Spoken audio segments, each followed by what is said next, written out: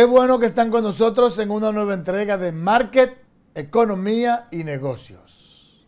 Un compendio de las noticias económicas más importantes acaecidas a nivel nacional e internacional hasta este momento. Edwin de la Cruz y Edmundo Ledesma tenemos todo un placer de compartir con ustedes esta propuesta de análisis e informaciones económicas. ¿Qué tal? Saludos Edmundo y saludos a los amigos televidentes de Market, Economía y Negocios en este programa ya casi de fin de semana. Así ¿eh? es. Todavía convulsionados por el magnicidio en Haití con la muerte de Juvenel Mois. Así Que ha impactado no solamente a la República Dominicana, sino al mundo entero que ha eh, expresado palabras de consternación por este, por este suceso tan terrible. Generalmente, eh, dependiendo del tamaño y la importancia geopolítica y geoeconómica que tenga un país en el mundo, así repercute negativa o positivamente cualquier evento. Haití es un país pequeñito, pero sí tiene consecuencias en la República Dominicana. Así que nosotros, aunque no el mundo, debe de interesarse por los acontecimientos próximos que van a ocurrir como consecuencia de este magnicidio. Así es, mira, y circula una fotografía de uno de los supuestos agresores en la casa del presidente, que se trata de una persona de origen norteamericana. Supuestamente. Eh, supuestamente, supuestamente incluso eh, se maneja con dos nombres. El nombre que presentan en esa fotografía dicen que se trata de Dustin Daniel Porte, con pasaporte norteamericano, y eh, tiene una residencia permanente con el nombre de Danilo Bajayik. Bajayik. Incluso tiene como medio árabe. Sí, Bajayik. Y tiene un perfil que habla de que él presta servicio de seguridad y de investigación en Washington, D.C. ¿Qué te parece? Muchas cosas complicadas que irán surgiendo poco a poco en, la misma medida en que se quiera hacer una investigación transparente. Todavía hay muchas eh, preguntas e incógnitas que deben de ser respondidas. Así es. Otra cosa, hemos amanecido hoy con el, nuestro cielo lleno de polvo sahariano. La gente que puede observar o que observó en el día de hoy eh, eh, cierta nubosidad, no era nube 100%, se trata más del polvo sahariano que está en nuestra, nuestra atmósfera, si se puede decir de esa manera, y eso da una sensación, sensación de calor muy fuerte. sensación de calor y muy fuerte. aleja la posibilidad de las lluvias. Así es. Y a propósito de ese polvo, eso puede producir alergias. A propósito también de que hoy es el Día Internacional de las Alergias. También. Así es. Sí. bueno, señores, a propósito de Jovenel Mois, era un joven dedicado a la actividad agrícola y suministro de energía eólica en Haití, cuando en el año 2015 el presidente Michel Martelly lo designó como el mandatario, o el candidato más bien, a la presidencia del partido político que Martelly fundó, el partido haitiano T-Calais. Veamos más de esta historia. En su campaña electoral, Mois promovió la agricultura bioecológica como un motor económico para Haití, cuya población rural está por encima del 50%. También expresó su apoyo a las políticas de Martelly la educación universal y la salud, la reforma energética, el Estado de Derecho, la creación de empleos sostenibles, la protección del medio ambiente y el desarrollo de Haití como destino para el ecoturismo y el agroturismo. Mois recibió el 32.8% de los votos en la primera ronda de las elecciones del 2015, celebradas el 15 de octubre, clasificando para la segunda vuelta con Jude Celestin. Miles de personas salieron a las calles en protesta violenta, forzando el aplazamiento de la segunda ronda de las elecciones. Jovenel Mois fue desafiado de nuevo en febrero del 2019 con manifestaciones a gran escala destinadas a conseguir que abandonara el liderazgo del país. El movimiento sigue a la publicación de un informe del Tribunal de Cuentas haitiano sobre la posible malversación de fondos de ayuda del desarrollo por parte de antiguos ministros y altos funcionarios. El mandatario haitiano de 53 años deja en la orfandad a tres hijos, John Marley Mois, Joverlain Mois y Juvenel Junior Mois. Su esposa, Martínez Mois, también murió en el atentado. A propósito, el ex embajador de Haití en la República Dominicana, Edwin Paraizón, afirmó que el pueblo haitiano estaba harto de Jovenel Moïse y que él se aferró al poder a pesar de que el pueblo lo rechazaba. Todas las fuerzas vivas de la nación deben renunciar. Él se ha aferrado al poder. Es lamentable que eh, que, haya terminado así, pero en gran parte eh, entiendo que no ha escuchado a los sectores sensatos de la nación, por un lado. Y por otro lado, eh, hay, que, hay que decir que también en sus discursos, Moïse muchas veces demostra, demostraba cierta arrogancia frente a la población, frente a la oposición. Paraizón recordó las constantes protestas que desde el 2018 se realizaban en Haití contra el gobierno de Jovenel Moïse, al cual tildó de impopular. Aunque el mundo ha expresado consternación por el asesinato vil de Jovenel Moïse en la madrugada de ayer, eh, Haití, la gran mayoría de los haitianos, para ellos es como si no hubiera pasado nada. Y esas expresiones de Edwin Paraison es como una persona que está diciendo, qué bueno que lo mataron. Evidentemente. Eso es lo que te dice, qué bueno que lo mataron, salimos de eso. Eso es lo que está diciendo. Y es terrible uno escuchar esa. No, la forma en que lo dijo fue un poco saliéndose como de sus cabales. Eh, no propio de un diplomático. por lo menos ver que tiene una carrera diplomática, la experiencia como carrera diplomática que tiene que quién sabe, la vida da muchas vueltas y, después resulta que le tomen eso en cuenta. Así. Son expresiones desafortunadas, digo yo. El obispo auxiliar de Santiago, Monseñor Tomás Morel, aseguró hoy que es preocupante la situación que está viviendo Haití.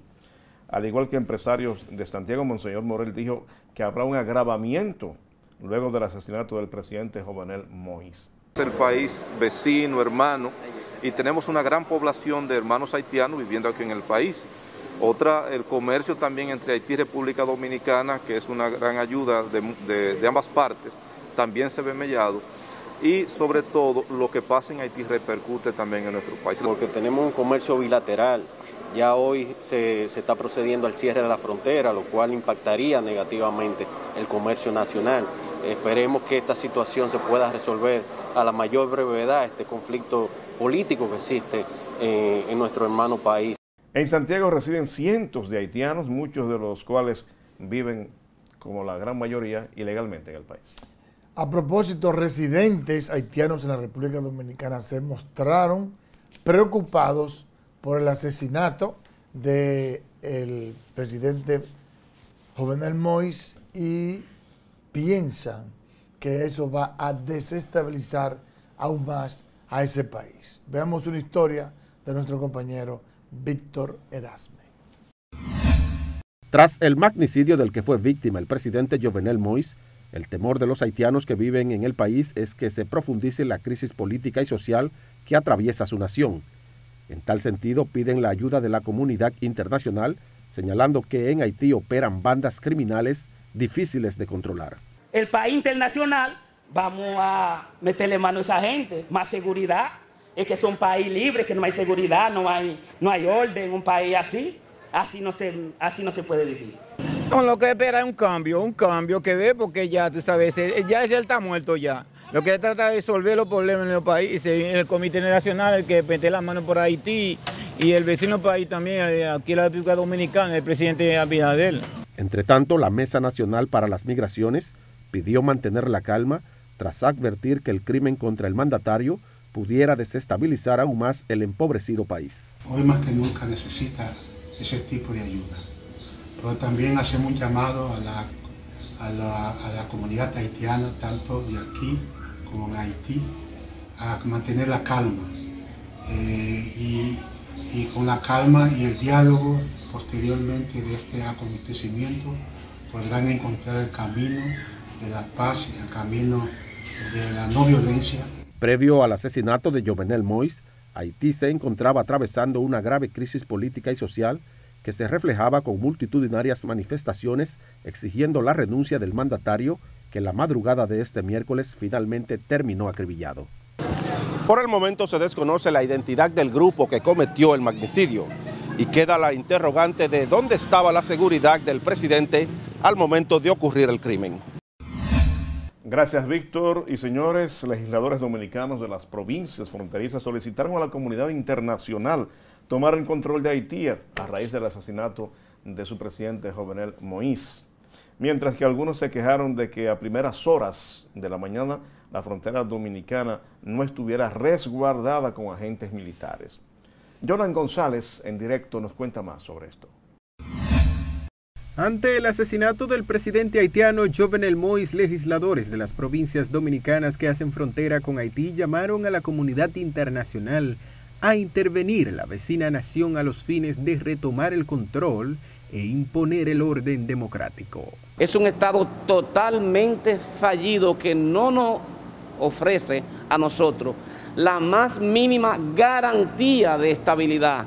Y como vecinos nosotros estamos llamando una intervención, que la ONU y los demás organismos internacionales intervengan inmediata e inminentemente a Haití. Realmente el Estado ya ha asumido algunos controles y deben reforzarse, porque eh, no se sabe qué puede pasar en Haití. Pese a que saludaron la decisión del presidente Luis Abinader de desplegar los militares dominicanos por aire, mar y tierra, para proteger las fronteras, los congresistas fronterizos criticaron la tardanza en enviar los efectivos y llamaron a los dominicanos residentes en Elías Piña, Jimaní, Dajabón, Pedernales y Montecristi a utilizar sus propios medios de defensa. Porque si al presidente de Haití lo mataron y no pudo contener una agresión. Imagínense nosotros vivimos en la frontera. Yo llamo a todo el ciudadano que vive en la frontera que si tiene un arma de fuego que la tenga a mano porque no sabemos qué pueda pasar en la República Dominicana. Yo creo que el gobierno puede proteger nuestra frontera. Es algo, al señor presidente que estamos apelando que proteja la frontera. Eh, tenemos una seguridad muy débil, sobre todo en la, en la aduana. Solamente están la gente de los CEFRON los que estaban acostumbrados a estar. Los legisladores declararon que los dominicanos que residen en las provincias dominicanas que hacen frontera con Haití se encuentran atemorizados a raíz de los niveles de incertidumbre que genera el hecho de que la máxima autoridad haitiana haya caído a manos de desaprensivos. Gracias, Jonan. Precisamente el embajador de Haití, República Dominicana, afirmó, confirmó que la esposa de Jovenel Mois quien en el día de ayer o el día en el día de ayer se había dicho que ella falleció en, en, este evento, en este episodio, pero parece que más que morir fue una forma de ocultar que ella permanecía viva para evitar que los perpetradores del asesinato, del magnicidio de Juvenel Moïse también quisieran tratar de terminar su trabajo. Pero eh, vamos a ver en ese sentido una historia que preparó nuestra compañera Maciel Genao. Aún no está confirmado el país a donde será trasladada la primera dama de Haití, Martín Mois, quien tiene un cuadro clínico delicado por los impactos de bala que recibió en el ataque en el que perdió la vida el mandatario de Haití, Jovenel Mois. El embajador de Haití en la República Dominicana, Smith Agustín, dijo que los hijos de la pareja presidencial se encuentran refugiados en un lugar seguro. Está recibiendo eh, cuidados que merece su caso en un hospital en Puerto Príncipe. Sus hijos están en lugares seguros bajo, bajo protección. Ahora mismo el primer ministro Claude Joseph, que también es el canciller, está en posesión. El diplomático repudió el acto violento donde murió el presidente de ese país y dijo que el Consejo Superior de la Policía de Haití se encuentra en sesión permanente para evitar un caos y buscar la paz. Está la policía en todos los rincones del país con también eh, el Ejército Nacional para ver cómo se puede eh, dirigir esta situación y tomar las medidas necesarias para evitar que un caos eh, se produzca. Pues también reitero la llamada del primer ministro a que el pueblo haitiano se quede en calma Además, detalló que los preparativos de las elecciones presidenciales que se celebrarán en septiembre continuarán su curso. El embajador haitiano dijo que próximamente se realizará un reporte para determinar la cantidad de personas afectadas en el ataque y la participación de latinos y anglosajones como autores del hecho. La Embajada de Haití que funciona en Santo Domingo seguirá ofreciendo los servicios de manera habitual. Gracias, Maciel. Señores y diversos sectores de la provincia de Espaillat reaccionaron ante el asesinato del presidente de Haití, Jovenel Mois. Más detalles con nuestro corresponsal allí, Cristian Rodríguez.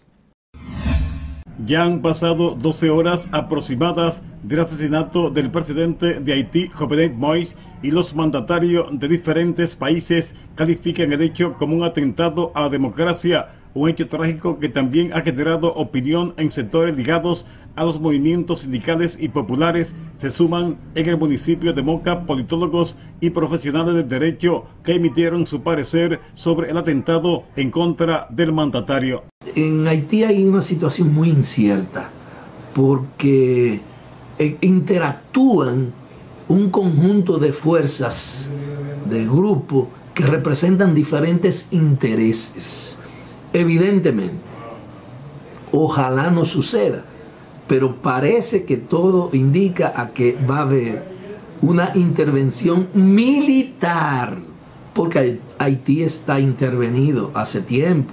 Su ambición de poder lo llevó hacia donde él está en estos momentos. Ahora, el gobierno dominicano en estos momentos debe acordonar la frontera y prohibir el acceso masivo de ciudadanos haitianos por hambre a nuestra tierra, pues ellos no han querido vacunarse y eso puede traer una contaminación masiva. El otro hora dirigente de los movimientos de izquierda, Manuel Grillón, expresó que el presidente de la República, Luis Abinader, debe de fortalecer la seguridad en la frontera. Eso es el ABC de la política y es, es, es normal que el presidente esté preocupado por la situación de Haití y que esté tomando ese tipo de medidas que son las normales en situaciones como esta. Asimismo, lo que tiene que ver con eh, los diplomáticos nuestros que están en territorio haitiano, que evidentemente nosotros tenemos que garantizarles su seguridad. Por supuesto que este evento tiene efectos geoeconómicos y geopolíticos, de manera muy particular en la parte económica entre República Dominicana y Haití, en el día de ayer el, director de aduana dijo que el intercambio comercial representa 1.200 millones de dólares entre Haití y República Dominicana, que por supuesto eh, quien saca la mayor ventaja de ese intercambio comercial es la República Dominicana, lo que implica un movimiento económico de unos 100 millones de dólares mensuales. Y que ese intercambio comercial se puede, puede correr peligro como consecuencia de esta crisis. Que por cierto, ya se están viendo las repercusiones, porque en el día de ayer, en las informaciones que salieron al aire en la zona fronteriza, se vieron varados una fila impresionante de camiones que estarían pasando a, de manera regular Haití a llevar mercancía en ese intercambio comercial y ayer no se pudo efectuar la venta. Al igual, vimos a que el mercado binacional no se pudo abrir y además vimos a muchas personas quejándose por el hecho de que los haitianos no estaban pasando a la República Dominicana por las medidas que se tomaron en la frontera y eso había limitado sustancialmente la actividad comercial advirtiendo que, si la situación no se normaliza, entonces la República Dominicana va a sufrir el impacto de la crisis haitiana en materia económica. Pero vamos a ver la opinión del profesor Antonio Siriaco en torno a esta situación inusual. La situación de incertidumbre que se ha presentado en el vecino país Haití con la muerte, el asesinato, el magnicidio de Juvenal Mois, obviamente que eso aumenta la inestabilidad de ese país, eso afecta evidentemente a la República Dominicana habrá mucho mayor presión migratoria, pero además las exportaciones a ese mercado, que es básicamente nuestro segundo mercado de destino de las exportaciones dominicanas, se verán afectadas. Renglones tanto vinculados con la alimentación, la producción agrícola, la producción de productos eh, como el cemento, varilla, que se exportan a Haití, obviamente se verán de forma transitoria hasta que esta situación no se aclare, se verán eh, interrumpidas.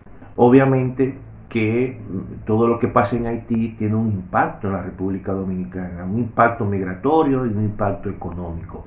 En el ambiente migratorio es obvio que habrá mucho mayor presión hacia la República Dominicana de, de haitianos que están buscando un espacio de paz y tranquilidad y más trabajo, pero también mm, hacia la República Dominicana, las exportaciones dominicanas hacia ese mercado obviamente que afecta a productores nacionales y básicamente a productores agrícolas que exportan bienes a Haití, como es el caso de la producción avícola, los pollos, los huevos, los productos alimenticios, los productos que tienen que ver con la manufactura local. De manera que esperamos nosotros que esta situación se pueda normalizar en un futuro, pero obviamente que eso tendrá un impacto económico y en las exportaciones dominicanas hacia ese mercado, que es el segundo mercado de destino de las exportaciones dominicanas. Gracias al profesor Antonio Siriaco por estas orientaciones. Vamos ahora de inmediato a conocer la palabra de hoy en el diccionario económico. Cuerpo legislativo es el cuerpo responsable de promulgar la legislación en un estado o nación la legislación es una colección de leyes que tiene un impacto directo en prácticamente todos los aspectos de nuestras vidas, desde la seguridad hasta la salud, desde la escolarización hasta los impuestos. El cuerpo legislativo de Estados Unidos es el Congreso y en Gran Bretaña y la mayoría de países europeos es el Parlamento.